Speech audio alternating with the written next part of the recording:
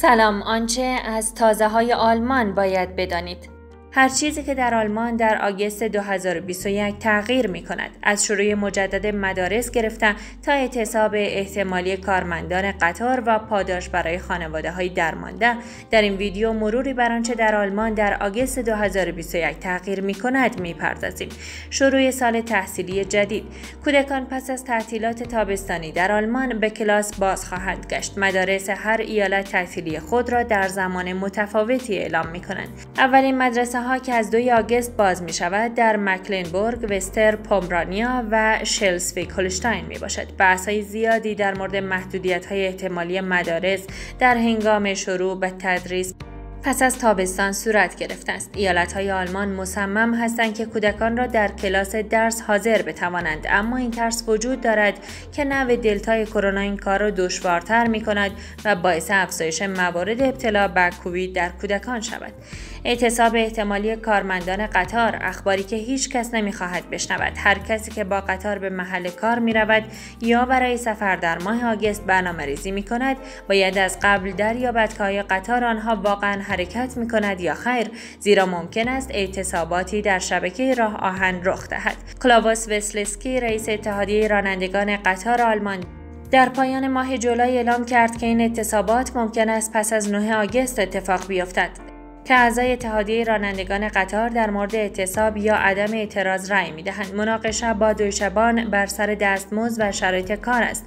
اتحادیه خواهان افزایش 3.2 درصدی دستمزد و یک بار پاداش برای همه به مقدار 600 یورو می باشد اگر اختلالاتی ایجاد شود که منجر به تأخیرهای طولانی مدت بیش از 60 دقیقه شود از جمله در نتیجه اعتصاب مسافران قطار می توانند بخشی از کرایه خود را پس بگیرند. افراد می توانند این کار را با استفاده از فرم موجود در مراکز سفر دیبی انجام دهند. با این حال از اول جولای باز پرداختها به صورت آنلاین نیز اجرا می شود اثر انگشت روی کارت های شناسایی جدید در اتحادیه اروپا در آینده اجباری خواهد بود. هدف این است که از کارت شناسایی و دارندگان آن در برابر جعل جنایتکاران محافظت بهتری صورت گیرد. هر فردی که برای کارت شناسایی درخواست می کند باید دو اثر انگشت ارائه دهد که به صورت الکترونیکی اسکن شده و در تراشه کارت شناسایی ذخیره می شود. مقررات اتحادیه اروپا در 2 آگوست 2021 در آلمان لازم الاجرا می شود. اسناد موجود حتی زمان انقضا و حتی بدون اثر انگشت معتبر میمانند. با این حال همه طرفدار این قانون جدید نیستند. منتقدان این روش را تجاوز بزرگ دولت به آزادی های مدنی مردم توصیف می کنند. انجمن دیجیتال کورج وی خطاب به مردم آلمان می‌گویند که قبل از دوم آگست برای دریافت کارت شناسایی جدید درخواست کنند. این کارت برای ده سال معتبر خواهد بود. پاداش کندر فرایزت بونز برای کودکان خانواده های مشکل دار. آلمان قرار است در ماه آگست از خانواده های کم درآمد حمایت بیشتری کند. دولت در حال اعطای یک پاداش 100 یورویی هر کودک به خانواده های کم درآمد می باشد تا از مزایای دولتی برخوردار شوند. به عنوان مثال این امر در مورد خانواده هایی که هارتس آیوی دریافت می کنند مزایای مسکن، مزایای تحت قانون برای پناهجویان برای خانواده هایی با درآمد کم است. کندر فرایزت بونز کودکان برای حمایت مالی از جوانان است تا بتوانند در اوقات فراغت خود لذت ببرند و ممکن است آن هم صرف برای خانواده های مستحق باشد. این پاداش بخشی از برنامه مقابله با کرونا است که دولت فدرال و ایالت آلمان می‌خواهند پیامدهای طولانی مدت محدودیت طولانی مدت برای آموزش و فعالیت های تفریحی برای کودکان و جوانان را کاهش دهند. زمان بیشتری برای اظهارنامه مالیاتی اظهارنامه های مالیاتی باید تا 2 آگوست 2021 امسال ارائه می شد اما حال تا پایان اکتبر 2021 هم نمی تواند تهیه شود. کسانی که اظهارنامه مالیاتی خود را توسط مشاور مالیاتی یا انجمن کمک مالیات بر درآمد پر کردند تا پایان ماه می 2022 فرصت دارند کارهای مالیاتی خود را انجام دهند. دلیل تمدید مهلت اظهارنامه های مالیاتی به دلیل همهگیری ویروس کرونا است. قوانین حق کاپی رایت. در برخورد با متخلفان در حال استفاده از اثر دارای حق کاپیرایت قوانین جدیدی از اول آگست در بسترهای آنلاین اجرا می شود. گزارش ها می رساند کاربران پلتفرم ها در صورت بارگذاری آثار دارای حق کاپیرایت مانند تصاویر، متن یا فیلم هایی که بدون اجازه استفاده شده مجرم شناخته می شوند.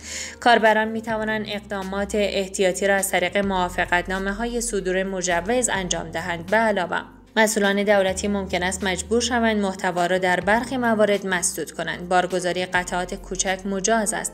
در رابطه با حق کاپی رایت آلمان از سال 2019 دستورالعمل اتحادیه اروپا را اجرا می کند که مورد اختلاف شدید قرار گرفته است. شکلگیری برنامه های سیاسی در رسانه ها با گرم شدن مبارزات انتخاباتی برنامه های سیاسی از سر گرفته می شود ساندرا مایشبرگر در 4 آگست فرانک بلاسبرگ در 23 آگست مایبریت آیلنر در 26 آگوست و آنویل در 29 آگست پخش می شوند. چه کسانی می توانند در انتخابات آلمان رأی بدهند؟ در مورد انتخابات بوندستاکسال یا فدرال افرادی که نمی‌خواهند به صورت حضوری در 26 سپتامبر رأی بدهند می توانند برای اخذ رأی غایب اقدام کرده و از خانه رأی دهند. درخواست رأیگیری غیابی را می توانید به مقام مسئول محلی تسلیم کرد. گلیفوسات تا حدی ممنوع است و زودی دیگر به مزرعهداران خصوصی اجازه داده نمی شود تا از گلافوسات در باغهای خود استفاده کنند. همچنین نمی توان از این ماده فعال در زمین های بازی و زمین های ورزشی و یا در پارک ها استفاده کرد. اما هیچ ممنوعیتی برای محصولات با تایید معتبر وجود ندارند. این تغییر قرار است در چند هفته آینده اجرایی شود. با این حال در شرایط استثنایی استفاده از گلایفوسات یا قاتل علف های هرز در برخی از ایالت ها مجاز خواهد بود. طبق قوانین اروپا ممنوعیت برای تمام آلمان امکان پذیر نیست زیرا استفاده از این ماده هنوز در سراسر اتحادیه اروپا تا پایان سال 2022 قابل تایید است. گفته می شود که گلیفوسات حشرات ضروری برای اکوسیستم ها و گرد افشانی برای گیاهان را از بین می برد. طرفداران تاتورت انتظار به پایان رسید. در 29 آگوست صدا و سیمای آلمان اولین قسمت جدید تاتورت یا صحنه جنایت را بعد از تعطیلات تابستانی پخش می کند با پرونده از بازرسان فرانکفورت تاتورت یکی از محبوب ترین و طولانی ترین سریال های جنایی آلمان است که سال گذشته 50 ساله شد. کرونا سفر به آلمان سختتر می شود. ورود به آلمان از اول آگست مستلزم ارائه تست PCR گواهی واکسن یا مدرک بهبودی از کرونا است. کنترل مسافران در تمام مبادی صورت خواهد گرفت و به فرودگاه ها منحصر نخواهد بود. علت امر پیشگیری از چرخش ویروس های جهشی یافته است. ورود مسافران به آلمان به دلیل افزایش موارد ابتلا به ویروس های جهشی یافته از اول آگست با سختگیری بیشتری همراه خواهد بود. به ویژه برای کسانی که واکسن نزدند. ینس اشپان وزیر بهداشت آلمان اعلام کرد که هدف مقررات تازه کاهش خطر ابتلا و سرایت ویروس های جهشی یافته است. هر فرد واکسینه نشده که وارد کشور می شود باید آزمایش کرونا بدهد ام از اینکه با ماشین، هواپیما یا قطار وارد شده باشد. اشپان گفت واکسیناسیون باعث سهولت سفر و بینیازی از قرنطینه خواهد شد و افزود هیچ کمبودی از نظر تامین واکسن وجود ندارد. مسافران ترانزیت و افرادی که تنها از مرزهای آلمان عبور می کنند و قصد اقامت ندارند از مقررات تازه مستثنا هستند. طبق مقررات تازه کشورها از این به بعد به دو دسته پرخطر و ویروسی تقسیم بندی می شوند چنانچه شاخص ابتلا در کشوری بالاتر از 100 باشد و بیمارستانهایش از عهده بستری کردن مبتلایان بر نیایند این کشور در شمار مناطق پرخطر تلقی خواهد شد.